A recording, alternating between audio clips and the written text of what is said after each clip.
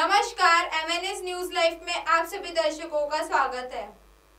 Nagpur city पर सोमवार, मंगलवार, गुरुवार और शनिवार को ही मिलेगा पानी।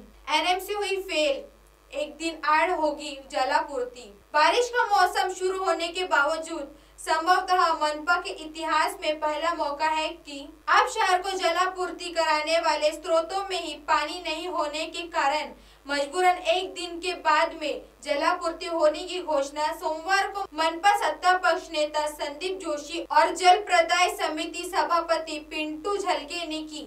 उन्होंने बताया कि बुधवार, शुक्रवार और रविवार को शहर में जलापूर्ति नहीं की जाएगी। अतः लोगों को एक और आवश्यकता अनुसार पानी जमा करके रखना होगा।